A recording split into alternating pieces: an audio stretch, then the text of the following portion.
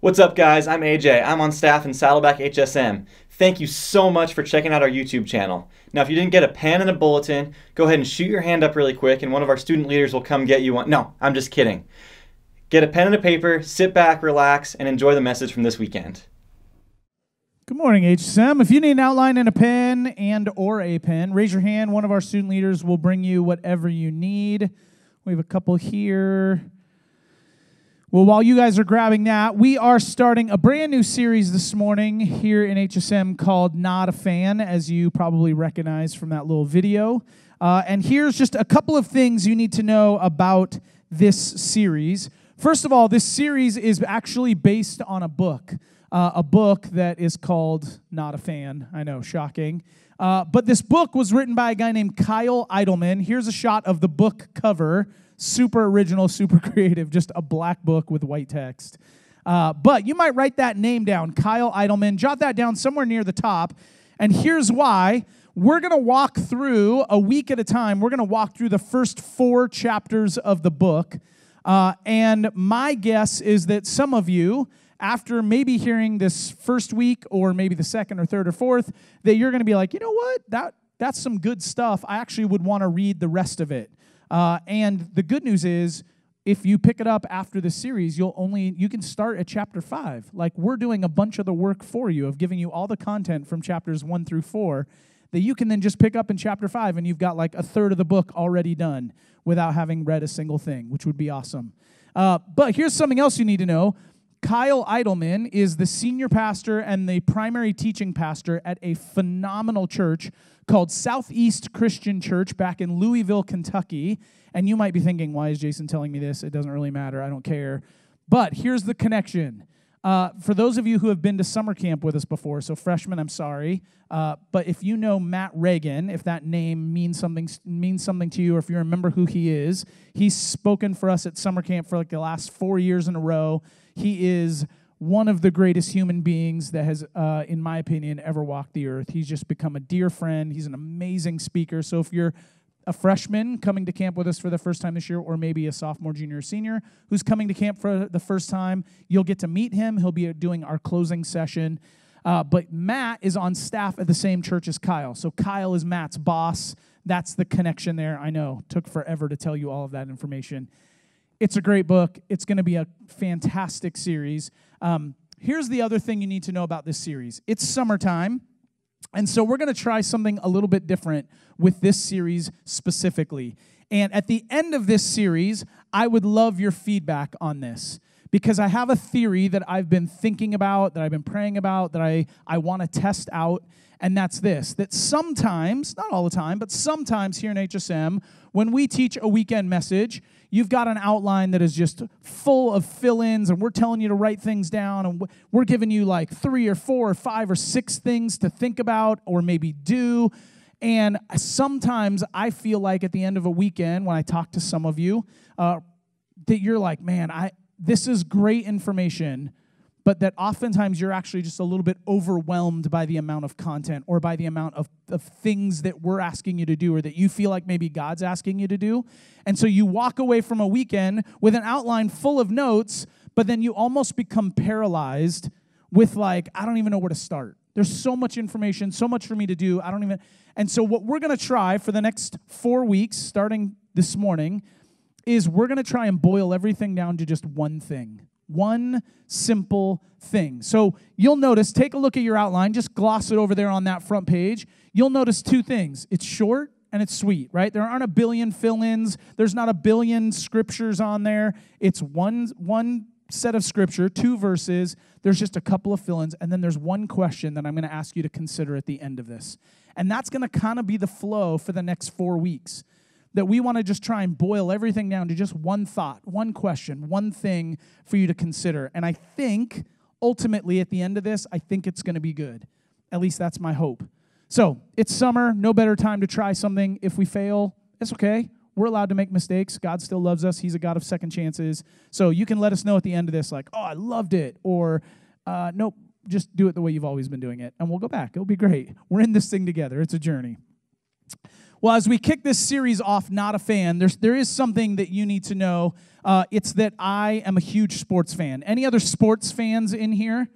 Okay, anybody who's like not a sports fan, like when it comes to sports, you're out. Like, give me anything else. Yeah, be proud. That's fine. You have your thing. It doesn't have to be sports, it could be music or movies or theater or drama or a billion other things. It's totally fine. But what you need to know about me is I'm a huge sports fan. I love sports. If it's considered a sport, I'll play it. Like it doesn't matter how obscure or weird, because if there's a winner, I want to play and I want to win because I'm competitive. So just know that if there's if you ever want to like spend time with me, the best way is to be like, hey, I'll challenge you to a game of ping pong or a game of pool or a card game. I'm in because I'll dominate and you'll leave crying and it'll be fine.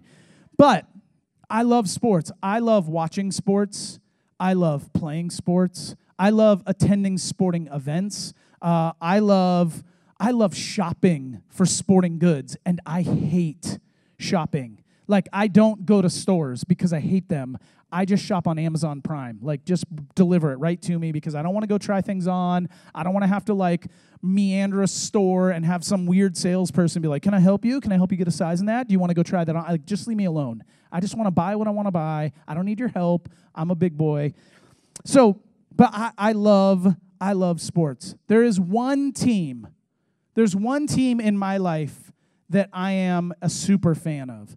Like, there's a lot of teams that I like to support, but there's one team in particular that for me is above every other team in every other sport. It doesn't even really matter. And it's this it is my beloved San Diego Padres. Any other Padres fans? Oh, gosh. You can just get up and leave now, sir. Just kidding. Uh, Jesus even loves Dodger fans. I know it's hard to believe, but he does. Here's the deal I was born and raised in San Diego. I lived there most is that even true? Most of my life? No. Half of my life was in San Diego. I've now been in Orange County the other half. Wow, that's crazy. Uh, but I still, I love San Diego. I love my Padres. I have Padres hats, numerous of them. I have Padres socks. I have Padres pennants and flags. Uh, I took my son out to spring training. We got all the Padres to sign all sorts of stuff. So I've got like helmets. I've got uh, my glove that I play with uh, is, is signed by the like I have Padres. I have a giant three foot wide by five foot tall San Diego Padres flag hanging in my bedroom. My wife doesn't love it, but I do. It's fine, no big deal. Uh, I, I just I love the Padres. I have Padres jerseys. Now you'll notice most people have like the same jerseys that the players wear. I have those, but I wanted something like unique that not every Padres fan has. And so I bought this. This is a basketball jersey, but made for baseball team, right? Who has that? Nobody, just me, because I'm a super fan. I love the Padres. I have Padres shoes. I'm wearing them right now. Vans made San Diego Padres shoes, and I bought them because I love them. I love the San Diego. I can tell you all about their team. I can tell you what position they play. I can tell you every player's batting average within a few points because it changes every day. I watch. They play 162 games a year, and I'll bet you I watch probably 140 of them. Like I love my Padres. Okay, you have your thing too, right? You're a fan of something or someone. Maybe it's not a sports team. Maybe you need to consider the Padres. We would welcome you. Uh, but maybe you're like, nope, it's I'm I'm a fan of a musician or of a band. Maybe you're a fan of like a politician or a business, right? Maybe like you ladies, you're like, nope, it's Lululemon. That's all I wear. It's all I love. Like that's my thing. You're a fan of it. I don't know what it is, but you're a fan of something, right? Or someone. All of us are. Because here's what it means to be a fan. It's really kind of a simple concept, right? Jot this down on your outline. A fan simply means that you're an enthusiastic admirer. If you are a fan of someone or something, it simply means that you're an enthusiastic admirer. You're a, a, positive encourager. You're a supporter of that person or that team or that business or that company, right? It just means that you cheer for them, that you like them. Let me show you a few examples of some fans. All right, look at this first guy clearly a fan, right? I'm not sure what he's a fan of because his forehead says hashtag pursuit, and then he has a Superman logo, and then an NBA jersey and some flames. So I'm thoroughly confused as to what he is a fan of, but make no mistake, he's a fan, right? He went through all that work to show his support for something. I'm not sure which. Look at this next one. Look at this guy. There's a fan, right? Raiders fans, they're crazy. They are crazy. I went to a, I'm also a Chargers fan, even though they moved to LA. It's a whole nother story. I don't have time for it. But I'm a Chargers fan because I used to be in San Diego. They moved to LA. I went to a Chargers Raiders game once and I almost died. Like, it is the scariest thing I've ever been to because everyone walking around looks like that and wants to kill you. It's insane. But believe it or not, this is the same person. That's what that guy looks like when he goes to work Monday through Saturday. And then in football season, that's like his costume. Like that's what he puts on to like watch Raider games. It's crazy. But clearly he's a fan, right? An enthusiastic admirer, a supporter of the Raiders. Look at this next one. Here's a crazy fan. Taylor Swift fan robs a bank and chucks the cash over her fence in bid to impress her. what an idiot. So this guy, I read the article. He robbed a bank. He got $1108. $1,108 ran to Taylor Swift's house and was like, I love you, and threw the money over her fence. He never saw her. And I guarantee you, Taylor Swift did not come out and be like, sweet, a thousand bucks, because she's got like tens of millions of dollars. She does not need his 1100 bucks, right? Like, what? But he's a fan. He's clearly an enthusiastic admirer of Taylor Swift. Here's the other thing I love about fans I love when fans get creative. I love it when they're funny, when they're original. I love like reading signs that people hold up, whether it's like at rallies or at sporting events. Here's a few of my favorite. Look at this first one. He told me I could have an engagement ring or World Series tickets. Here I am. Oops, that backfired on him, right? Because she's at the World Series. And if you notice her left hand, there is no ring on that finger. So, whoops. Uh, what about this next one? I set my DVR for the biggest loser, but it keeps recording the Chiefs games. Hilarious. How funny is that? Broncos fans just totally ribbing the Chiefs fans. So good. All right, what about this next one? I just hope both teams have fun. I just think that's original and creative, right? At the end of the day, it's just a game. Like, just go have fun, guys. That's what this is all about. Uh, this is my favorite one. Here's the last one. The guy behind me can't see, which really that's what happens when you hold up a poster the person behind you can't see. You maybe get on TV, but who knows. All right, there's one fan. There's one fan that caught my eye a while ago. I was watching the College World Series baseball games, and uh, this kid just, yeah, say no more. Watch this.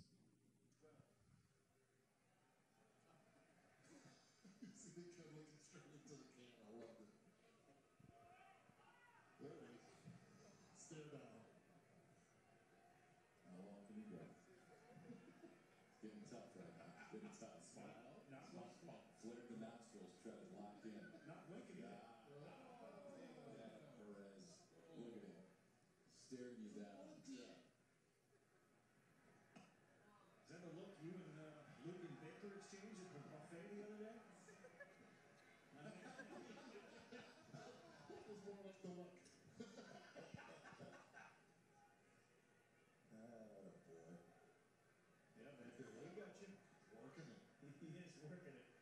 He did. Did a few uh, mini boob suckings. This is another, another one.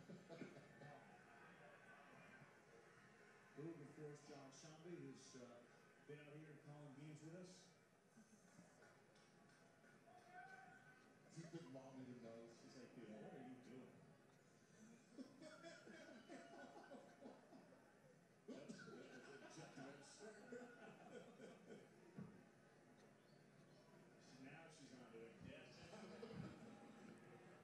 How great is that kid? He's so cute, right? Like so funny. I he probably is I don't know 12 or something. I I would have never had that much like personality and charisma to like stare down a camera and so funny.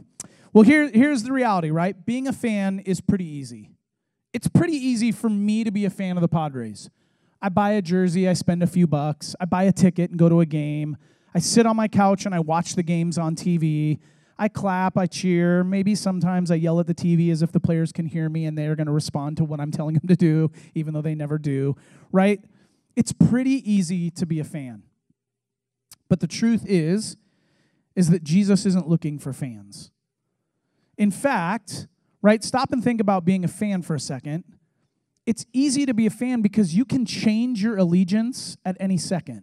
Like, I could decide right now, like, you know what?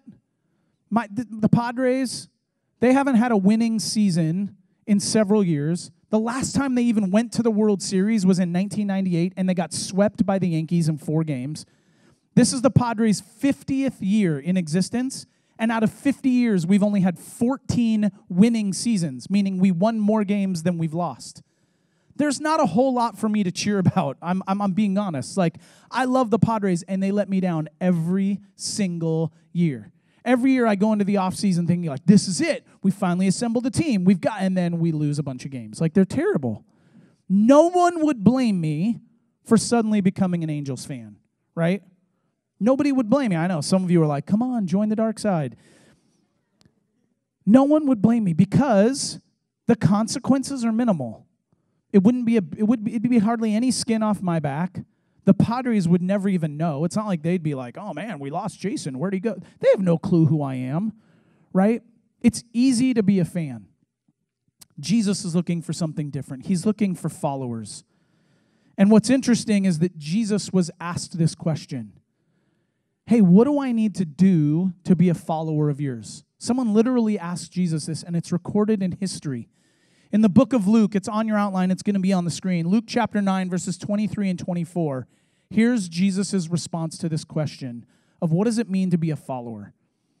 Then he said to the crowd, If any of you wants to be my follower, and Jesus gives three, three points to this. He says, Number one, you must give up your own way. You have to give up your own way. Number two, take up your cross daily. And number three, follow me. And then he said, If you try to hang on to your life, you'll lose it. But if you give up your life for my sake, you will save it. In other words, if you try and follow your own way, your life won't mean anything. But if you follow me, if you become a follower of mine, you'll live the greatest life possible. Your life will actually count and mean something. So, jot down this definition of follower according to what Jesus had to say. A follower is this it's someone who sets aside selfish interests, who's willing to endure whatever may happen, and who models their life after whomever they're following. I know it's a really long fill in. I apologize. But don't blame me. It's what Jesus said, so blame him. Someone who sets aside selfish interests, who is willing to endure whatever may happen, and who models their life after whomever they are following. One more time. Someone who sets aside selfish interests, who's willing to endure whatever may happen, willing to endure whatever may happen, and models their life after whomever they are following.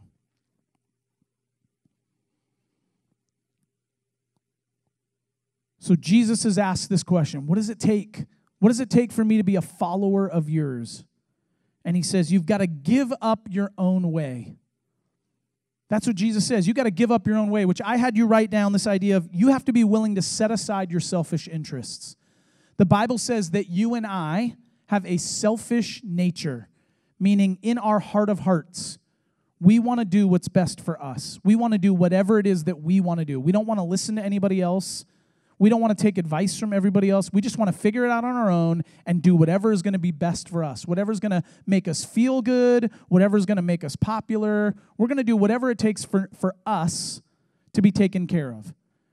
And Jesus says, That's fine, but you're, that's not being my follower.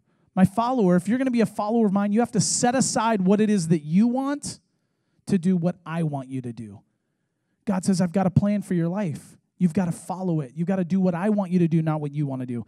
He then says, You have to take up your cross daily. Kind of a strange phrase, right? Take up your cross daily. And really, what he meant there was you have to be willing to endure whatever might happen. If you're familiar with this guy, Jesus, then you might know that Jesus was both fully God and fully human, and that he lived a perfect life here on this earth, and then ultimately was killed. He was put on a cross and crucified. And Jesus is saying, Look, if you want to be my follower, you have to be willing to do the exact same thing. You've got to be willing to endure whatever it is that I ask of you, whatever it is that I allow to happen to you. Jesus doesn't cause bad things to happen to you, but he will allow them because he's got a plan and a purpose to use it for good. But he says, You've got to be willing to potentially die for him. You've got to put, be willing to potentially be to endure some some teasing or some mocking or some persecution. Like whatever it is that God chooses to allow to happen to you, you've got to be willing to endure. And then the third thing he said is, you got to follow me. If you're going to be my follower, you got to follow me. And what he means by that is you got to be willing to model your life after him. That means you've got to read your Bible and see, like, how did Jesus live his life? And then do the same thing, talk the same way, respond the same way, love the same way. That's what it means to be a follower. Do any of you remember playing uh, when you were a kid, playing that game Follow the Leader? Right? It's a little bit like that. Think of just think of that picture in your mind. Maybe you were out on the playground and someone's like, "Let's play Follow the Leader," and you're like, "Okay." And so what do they do? They like jump on the monkey bars and they're like, "You got to skip every other bar," and so you like try to copy them, right? You try to mimic whatever they do, and if you don't do it, you're out. This is the picture that we're given. Jesus is saying, Look, you got to do what I do. And here's the tough thing about being a follower. Even as you think about this game, you have limited time to respond, right? The person doesn't let you practice over and over and over again. You get one shot at it. And you have limited resources. You got to do whatever it is they did. You've got to watch them and like respond immediately. And Jesus is asking us for the same thing. Just watch how I live my life and do the same thing. Fortunately for us, when it comes to living a life following Jesus, you don't have to get it perfect every time. That He allows you multiple attempts, He allows you to make mistakes.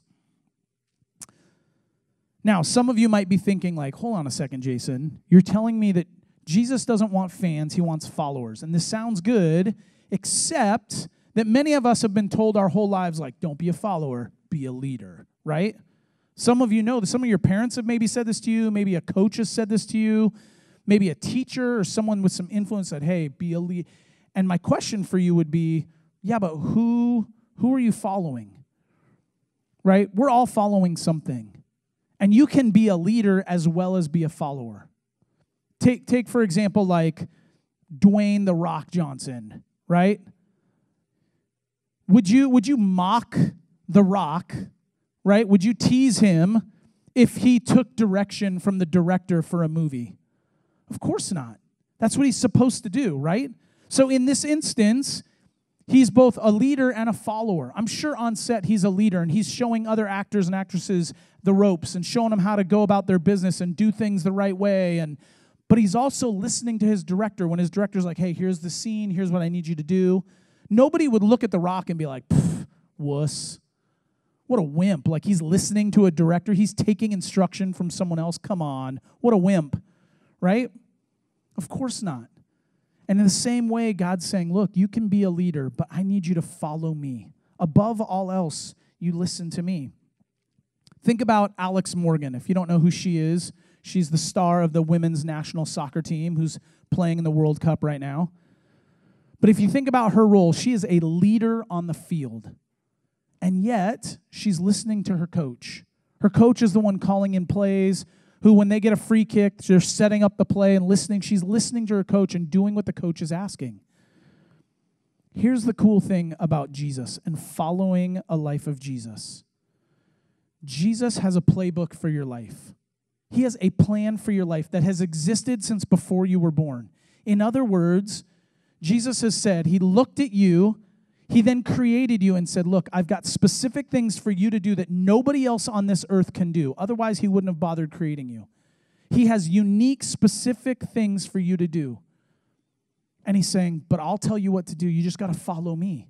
You're going to be a leader, but I need you to follow my direction. It's like being Mike Trout. Like you are an MVP in Jesus' team. As cheesy and silly and dumb as that sounds, it's the truth. You're a Mike Trout in the kingdom of God. And Jesus is saying, Look, i am the coach. I've got the playbook for your life. I know exactly what you need to do. But here's the cool thing that separates Jesus from any other coach. Not only does Jesus have a playbook for your life, he has the playbook for the enemy's life. See, there's this guy, Satan, who's trying to destroy your life, whether you recognize it or know it or not. There's this, this being out there that wants to destroy you, that's fighting against you all the time, that's fighting against God all the time. But Jesus knows every trick he's going to try because Satan can't do anything without God's permission. And so Jesus knows all the things he's got set up for you to do, but he also knows every trick the enemy's going to try to get you off course. And he's saying, Look, if you'll just follow me, if you'll just follow my lead, man, I can help you right through that stuff. I'll provide you a way out every single time. Jesus came to show us how to live, to show us how to love. He came to give us a model so that we could follow him. But here's the reality you and I, we need to get out of the bleachers, out of the stands, off our couch. We need to stop just cheering and we need to get in the game. We need to get on the field. Think about Mike Trout, right? MVP, star of the Anaheim Angels. Would, would the Angels win more games with Mike Trout sitting in the stands, like cheering his team on, like, go get them, guys? Or would they win more games if he's out on the field, like roaming center field, playing his position, getting up to bat three or four or five times a game? God wants the same thing for you. He's got things for you to do, but you've got to get in the game. And for some of us, we've been sitting on the sidelines far too long. We've just been a fan. And Jesus is saying, Man, I, I want you to be an active participant in this thing. So here's your one question to consider this week. It's really simple. You've probably even figured it out. It's Am I a fan or a follower of Jesus? Am I a fan or a follower of Jesus? After you've written that in, do me a favor, grab that, that tear off on the bottom of your outline, tear it off for me. And really quickly, maybe these are new to you, maybe you've never seen these before or never used one and thought like, I don't know why this is on here, I'm never going to use it. But let me just point out a couple things. One, this is the easiest way to connect with our team. So if you ever have a question, if you ever have a suggestion, if you ever have a thought, uh, if you ever want to talk to one of us, this is the easiest way. You can always DM us on our Instagram or call the church office uh, or whatever. But this is the easiest way because we gather these up every weekend. We go through them during the week. We respond to anyone that wants to be responded to. So you notice there's some check boxes on there like, I'd like someone from the HSM team to contact me. If you want to be baptized, you can check that box. Whatever you do, don't check that last box. Can't tell you what happens, but it's dangerous. Um, but you can either fill this out and submit it, you can leave it anonymous if you want, but turn it over on the back side. There's a place to write your prayer requests, your comments, your suggestions, your questions. If you ever are going through something and you want to know that people are praying for you, this is the best way. We have a team of people who come into our offices every Wednesday, and we pray over every single one of these cards. If you put your name on it, we'll pray for you by name. If you don't, we know that God knows whose card it is, so we trust Him. We know that. But you guys, we believe in the power of prayer. We believe that God responds to these requests on our behalf. So if you ever have something you want us to know about or you're going through, man, utilize this. But here's how, in addition to that, this morning, if you want to use the, this card for any of that, please do. But in addition to that, here's what I want you to do. Where you're sitting at this morning, not physically where you're sitting, but like just thinking about your life this morning, I want you somewhere on this card to write either the word fan or the word follower. Like, where would you say that you are right now? Are you, are, do you find yourself being a fan of Jesus, but not really being involved? Maybe you're not taking this whole thing of following Jesus too serious. Maybe you're not like serving in ministry and you're recognizing it's time. But would you consider yourself this morning a fan of Jesus? Which, friends, that's not a terrible thing. The fact that you could even recognize that and admit it is awesome because now we know where to, now you know your starting point and we know where we've got to get to, right? Which is being a follower. And if you find yourself being a follower of Jesus this morning, just write the word follower somewhere on there. And then in a few minutes when we leave, there's a couple of big oil drums on your way out. There's some little slots in the top of those. Just drop that in there. And here's why we're going to just pray over those this week. that God would help all of us move from being a fan to a follower, and if we're a follower, to continue to model our lives after Jesus. In fact, before we go any further, I just want to pray for us and pray for that specifically this morning. The band's going to come down. We're going to wrap up with a couple songs. But let's pray together before we do that.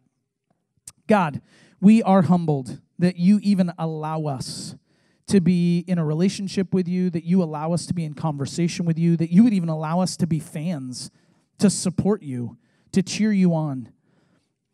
But God, we also recognize that you're calling every single one of us to something more to something far greater, to getting involved in what you're doing.